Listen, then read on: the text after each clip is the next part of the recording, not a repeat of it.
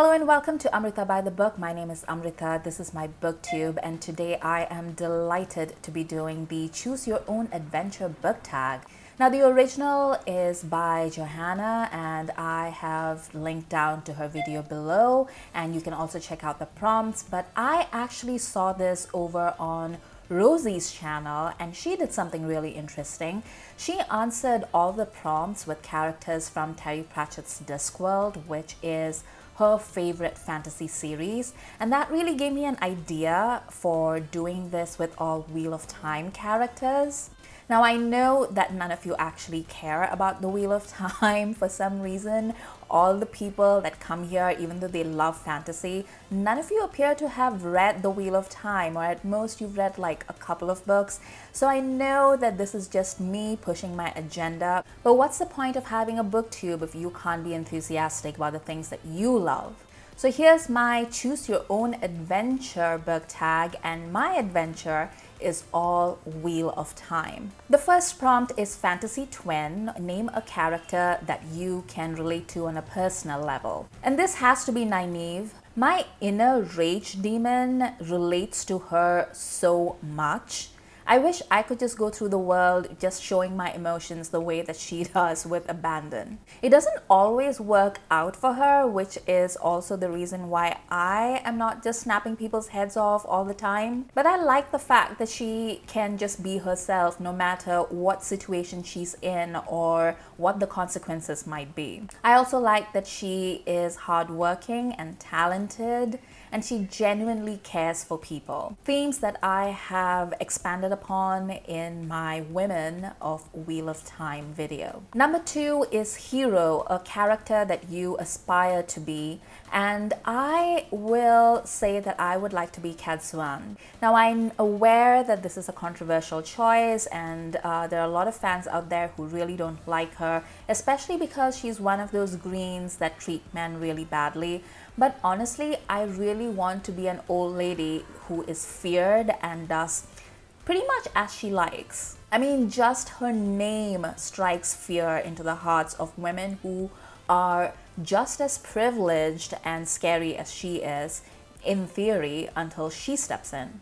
That's my retirement plan. Number three is champion. Choose a character to be your champion in a duel. And for my money, I know there are lots of characters in the Wheel of Time who are amazing at fighting, but I feel like I have to go with Mat. He's tricky, so you know he's not going to give anyone a fair fight, so that automatically increases his chances of winning. Two, he's really talented with weapons and knows tactics and stuff.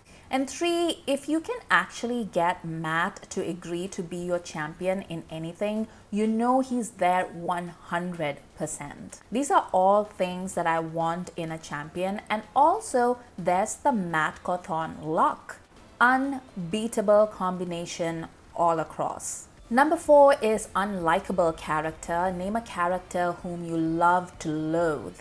And for this, I have to choose Demandred, even though he is really a Sanderson character, or rather, I prefer the Sanderson version of Demandred who I think is a lot more complex and um, you know this is not actually part of the main canon. I mean it is part of the canon but it's actually part of a outtake that Sanderson later published as a short story in an anthology. But I think in the, you know, the little bit that Sanderson was allowed to show him on screen, so to speak, he really did a good job of giving that character depth and maintaining the fact that he is basically batshit, which he would have to be after all the things that he's been through. And how sad that is because you can see the potential in him and who he might have been if he hadn't forsaken the light.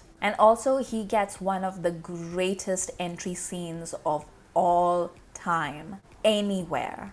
Number five is Tavern Buddy. Name a character that you would like to spend a night out on the town with. And I feel like a lot of people would say Mat because he has that reputation for cruising. But I actually think um, either Thom or Birgitte would be a better choice. Thom, because he probably knows all the best places in town, and you know he's going to be the life of the party, and so you're just there for the ride.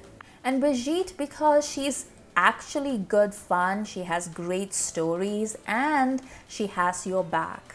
Woman on the town, you need someone to have your back. Number six is villain. Name a character with whom you would not want to cross paths. And this is very easy. It's the dark one. Like literally, they don't even want to mention his name in the books. But I also think the Children of the Light the old version before Galad got his hands on them. They're some of the worst villains in the series because they don't even have magic or any kind of history. They're just ordinary men who are so deluded that they are doing incredible amounts of evil. Loathe them. Number seven is mentor. Name a character from whom you would like to learn or have as a mentor. And I feel like the Wheel of Time has a ton of these, right? There's obviously Moiraine and Lan, who are, you know, two of the first characters that we see who are teaching the farm boys and girls a ton of things that they don't know about the world. But there's also Tom. Tam was a great parent and teacher to Rand. The wolves are lovely to parent. But for my money, like one of the best mentors in the series is Siuan Sanche, who is not only an excellent mentor to Egwene, but also she knows so much about the world in which they live and she understands it in a very real way. And I think one of the things that I really like about her is the fact that she understands what it is to wield power and what it is to be powerless. And she knew that even before she became the Amyrlin seat and after, which is why I think she's such a survivor. Number eight, Samwise. Name a character whom you would trust to be your best friend, and this has to be Min all the way. That girl is true blue and she is just steadfast. She doesn't expect things of people, she doesn't want things of people, she just loves wholeheartedly and she's there for you.